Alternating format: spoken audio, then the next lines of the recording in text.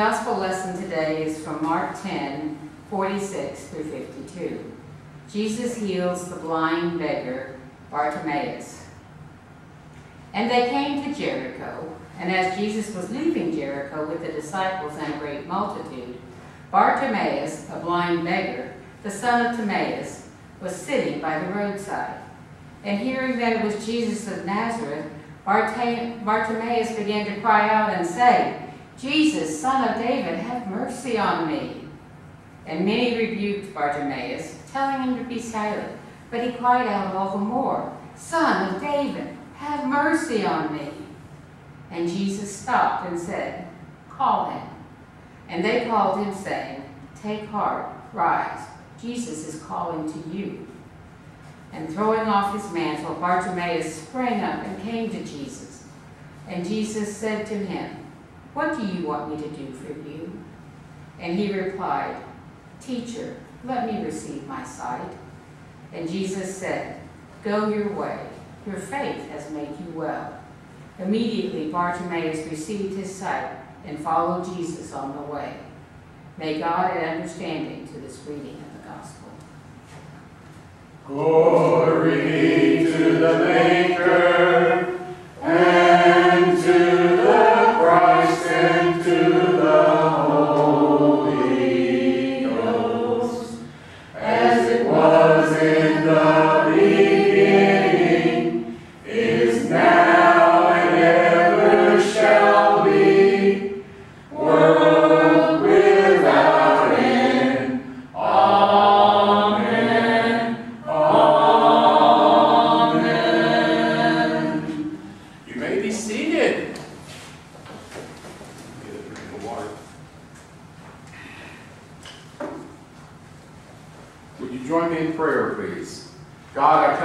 you once again offering myself as a servant, as a tool, as an instrument to do your work and to speak your words.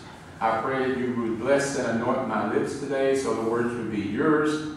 I pray that you open all of our hearts and our spirits so that we would hear the very message you would have each and every one of us hear on this day on our individual journeys. It's in the name of Jesus I pray. Amen.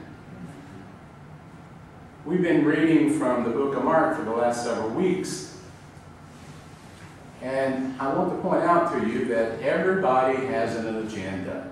Now, you may not know you have one, but believe me, you each one have an agenda. Ask five people who witnessed an accident to give an account of what happened, and you'll probably get five different testimonies. Even if they're all trying to be objective about what they've seen and what they're telling. Every retelling of a story has a purpose. It's true of current events, it's also true of Bible stories. The way we remember and repeat the healing of Bartimaeus says something about him and also says something about us. There's an old hymn that interprets this passage called Then Jesus Came. And the first verse goes like this, and I won't sing it for you. One sat alone beside the highway begging. His eyes were blind, the light he could not see. He clutched his rags and shivered in the shadows.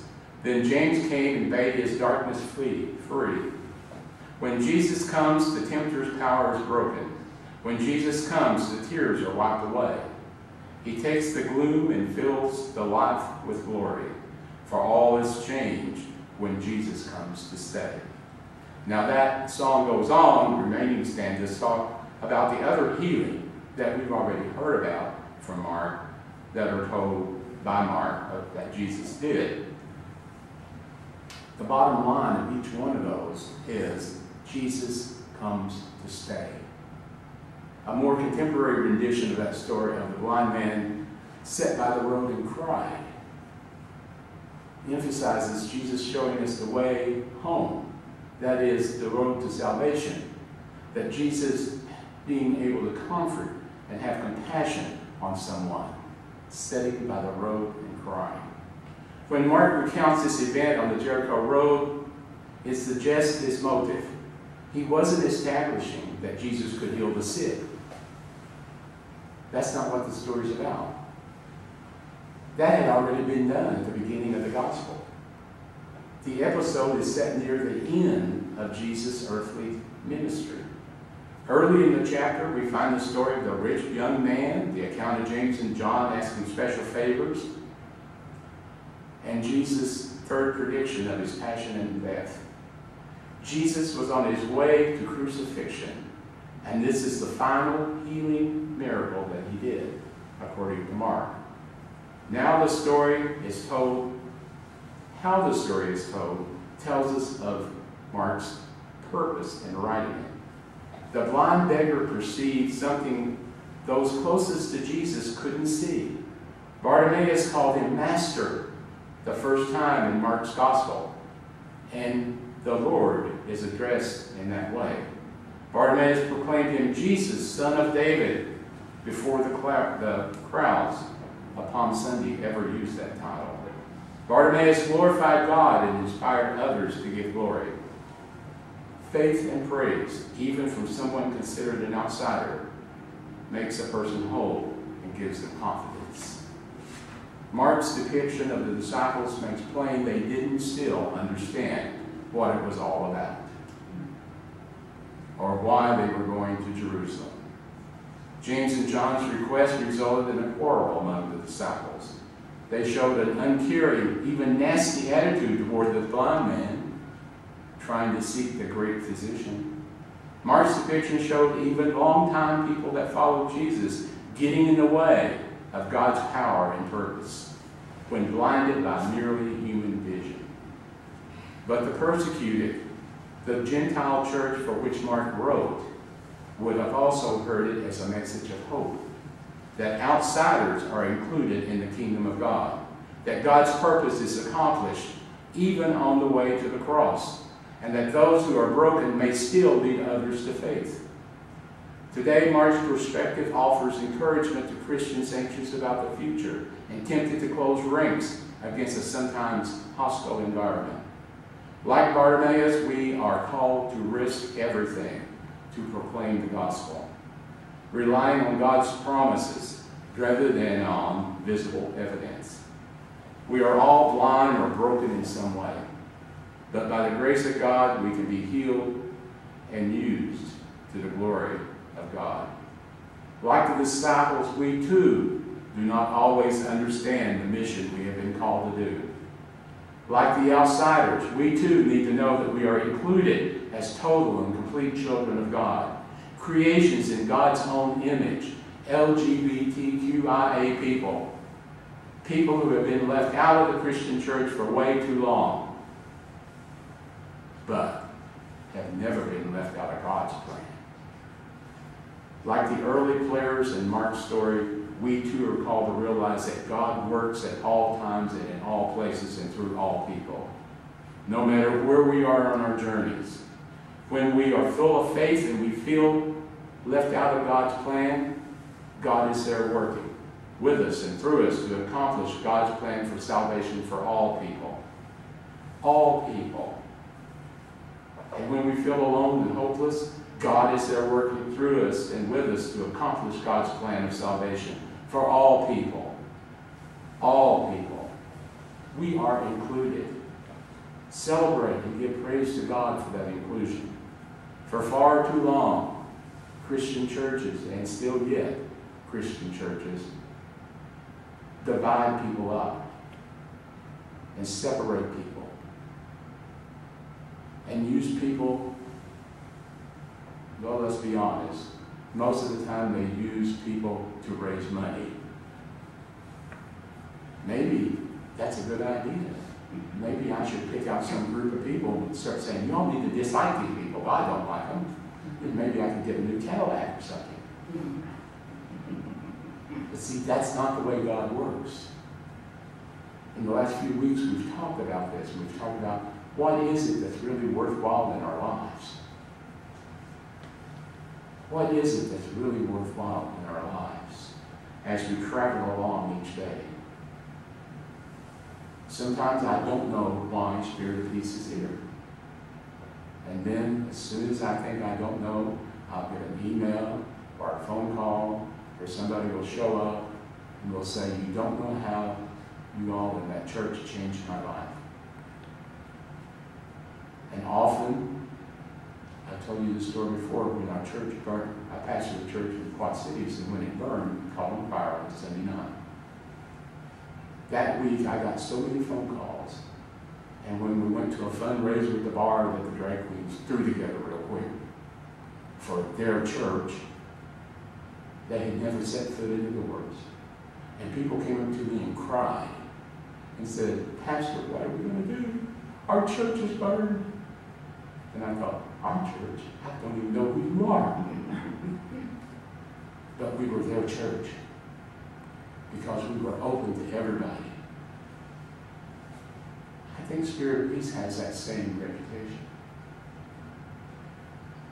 We're open to everybody. They may not take advantage of it, and that's okay. They may not show up and sit in the chairs, and that's okay.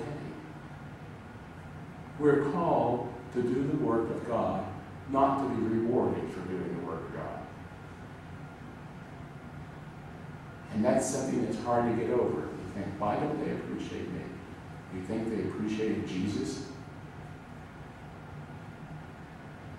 He was on his way to the cross and he healed a blind man. I know he had more on his mind. And notice while he healed the blind man, he didn't get the dirt and the spittle and rub in his eyes. He didn't say, go take a bath in the pool of Siloam. He didn't say, you know, you have to repeat this ten times or go to the temple and give an offering. He just said, you're healed. Okay, let's get on with life now. And the blind man could see immediately. Never forget, never, never, never forget where you are on your journey and where you're going. We're not going to the cross, we're going to the resurrection. That's a repeat from last week, by the way. Mm-hmm. We're on our way. We're on the journey. And what happens on that journey is very important. And when we get at the end of that journey, it will just be us. Us as individuals, standing in front of God. And what a joy it will be. Just think, you know, the Rainbow Bridge, I love that point. Just think, since we have a lot of animal lovers in here, how much or how happy you're going to be. You're going to sing praises and do a little jig probably. When you get to the end, get to the edge of that rainbow bridge, and you see every animal you've had meet you. Probably knock you down on the ground and cover you up. There'll be some, with some of you.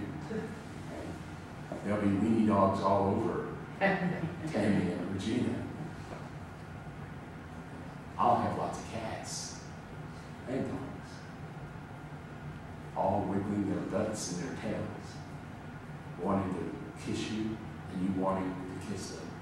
The joy you'll have. Think how much more the joy will be when you see people that are gone ahead you. What a happy time. That's where we're headed. It makes no difference what happens to us here. It's where we get to. So celebrate today. Sing. Open your eyes. See the majesty of God and the miracles of God all around you. They are here. They are here. God is present. Sometimes I wish we didn't have the Old Testament history. Because we think, well, God did all kinds of things back then. God still does all those things probably even in a bigger and glorious way than they were done. Because they had some great storytellers back then. And somebody will tell our story someday. And they'll make it even more glorious than we thought it was. Celebrate. Celebrate. And give praise to God this day. Amen.